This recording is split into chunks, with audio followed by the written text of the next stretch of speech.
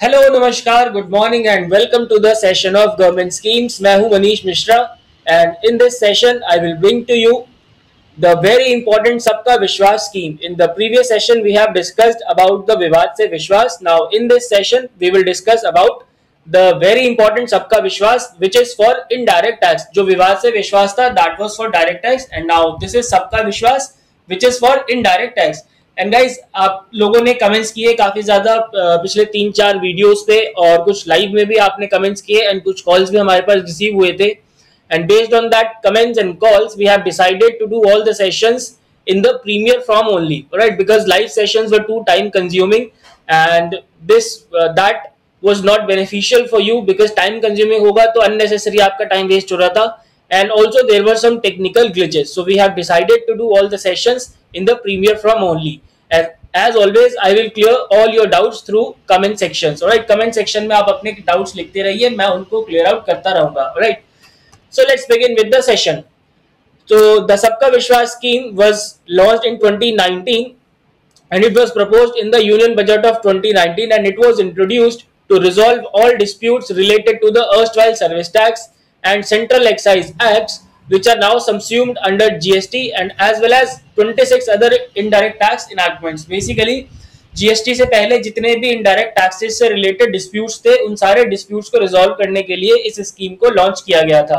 Right and the scheme will be for tax payers who wish to close their pending dispute जितने भी tax payer अपने pending dispute को खत्म करना चाहते हैं क्लोज करना चाहते हैं उनके लिए स्कीम लाई गई थी। और इन इन टैक्स पेयर्स को कुछ रिलीफ भी प्रोवाइड कराया जाएगा बाय द गवर्नमेंट ताकि वो अपने पेंडिंग डिस्प्यूट्स को क्लियर आउट कर सके। इसको लॉन्च किया गया था on the fifth July 2019 and the basic aim behind launching this scheme is to settle the unresolved issues pertaining to pre GST regime. GST regime से पहले के जितने भी issues हैं, जितने भी conflict है, जितने भी disputes हैं, उन सबको resolve कर दिया जाए। राइट ये इसका बेसिक एम था. And there are two main components of the scheme dispute resolution and amnesty so the dispute resolution component is aimed at liquidating the legacy cases of central excise and service tax that are subsumed in GST and are pending in litigation at various forum अलग अलग forums पे जो भी litigation pending है related to the central excise and service tax and any other indirect tax उन सबको liquidate करना, उन सबको खत्म करना and the amnesty component of the scheme offers an opportunity to the taxpayers to pay the outstanding tax and be free of any other consequences under the law और एक opportunity provide कराई जाएगी through the amnesty component जिसमें tax payer जो होंगे उनको कहा जाएगा कि आप अपना आउटस्टैंडिंग टैक्स पे करिए एंड आपको किसी भी कॉन्सिक्वेंसेज uh, से फ्री रखा जाएगा अंडर द लॉ मतलब the person will be free of any consequences under the law उसको हर तरीके से इम्यून रखा जाएगा right right? And the duration of the scheme,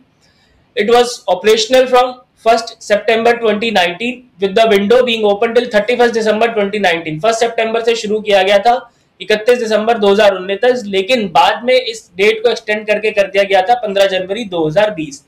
and now what are the provided reliefs so for the pending cases अगर किसी का tax pending है then there will be 70% relief from the duty demand if an amount less than or equal to rupees 50 lakh whereas it is 50% if it is more than rupees 50 lakh. अगर किसी का pending case था मतलब किसी का pending amount था 50 लाख या उससे कम तो 70 परसेंट रिलीफ दिया गया फ्रॉम द ड्यूटी डिमांड और अगर 50 लाख से ज़्यादा था देन देयर वाज 50 परसेंट का relief okay and in the non pending cases 60 percent relief of the duty amount for the sum less than और इक्वल टू 50 लाख लेकिन अगर अमाउंट 50 लाख से ज़्यादा है then it is 40 percent right and the person availing the scheme will only have to pay the full amount of disclosed duty and the scheme will also give relief from payment of interest and penalty इस scheme में कोई भी interest या कोई भी penalty नहीं ली गई from the tax payers and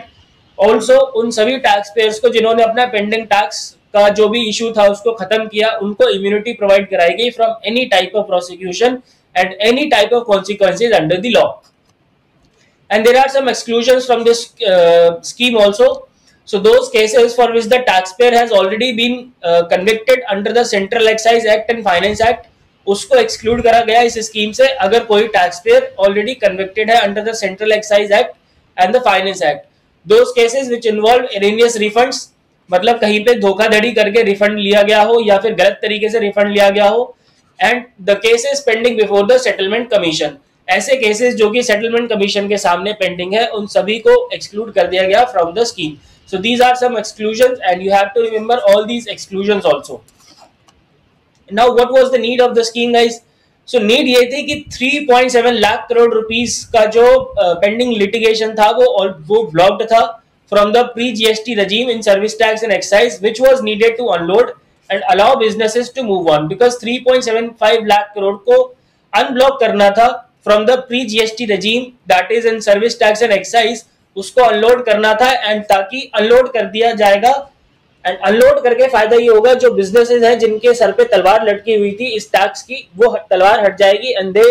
and then they be able to do their businesses freely right and this scheme will also allow quick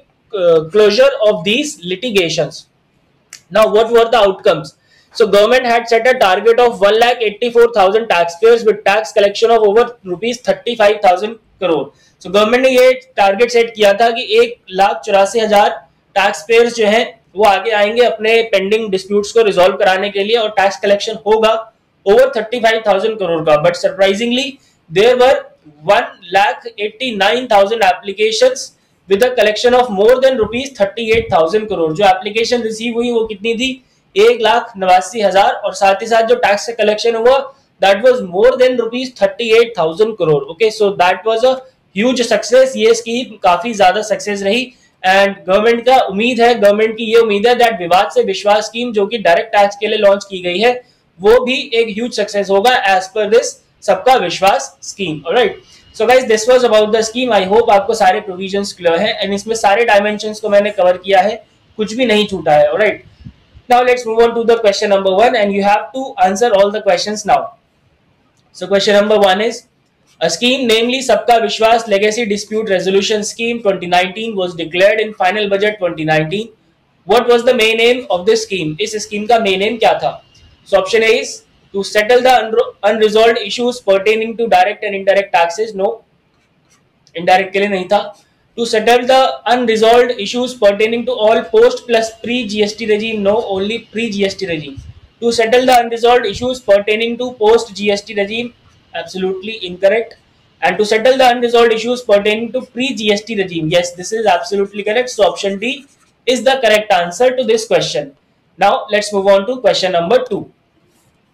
How much relief from the duty demand will be given to SSEs if the pending amount is up to rupees 50 lakh according to Sabka Vishwas legacy, legacy dispute resolution mechanism. Duty demand अगर 50 लाख से ज़्यादा है तो अगर pending amount 50 lakh रुपए से ज़्यादा है तो कितना रिलीफ दिया जाएगा एसएससी को according to this Sabka Vishwas resolution scheme so अभी अभी हमने डिस्कस किया दैट अगर पेंडिंग अमाउंट 50 लाख से ज़्यादा है सॉरी 50 लाख तक है मतलब कि इक्वल टू और लेस देन 50 लाख है then the relief is what 70 percent in case of pending cases alright pending cases में ये कितना है? 70 परसेंट है if the pending amount is up to rupees 50 lakh now question number three is If a person has been convicted for an offence punishable under a provision of the indirect tax enactment, uh, however, in respect of the same matter, he intends to file a declaration under the scheme. Is he eligible? अगर कोई person convicted है for an offence punishable under a provision of indirect tax enactment मतलब indirect tax की किसी act के अंतर्गत अगर कोई पर्सन ऑलरेडी कन्विक्टेड है फॉर एन पनिशेबल ऑफेंस तो लेकिन फिर भी वो ये चाहता है कि वो इस स्कीम के थ्रू अपनी डिक्लेरेशन फ़ाइल करे। तो क्या वो एलिजिबल है? सो गाइज़ अभी अभी हमने पढ़ा था कि कुछ एक्सक्लूजन की गई है फ्रॉम द स्कीम उसमें से एक एक्सक्लूजन ये भी है। So there for the correct answer will be what option D no he is not eligible to avail the scheme now question number four the scheme remain open up to which date so ये start की गई थी first सितंबर 2019 को। और पहले इसकी ending date थी thirty first December 2019 but later इस डेट को बढ़ा के 15 जनवरी 2020 कर दिया गया। So there for the correct answer is what option B fifteenth January 2020 now question number five which of the following is not true about the need of the scheme इस scheme की क्या नीड्स थी? उसके बारे में क्या सही नहीं है? Right so option A is unblocking more than seven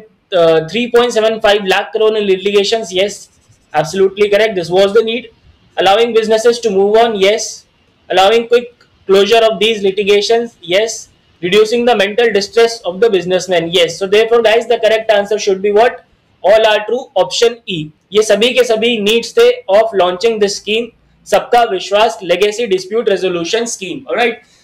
so I hope आपको ये क्वेश्चन क्लियर है एंड सारे क्वेश्चन क्लियर है एंड आई होप आप सभी के सारे क्वेश्चंस बिल्कुल ठीक थे So that's it for the session. I hope you like it. For more updates, do subscribe our channel and press the bell icon. Thank you so much for watching. Goodbye, take care, and God bless.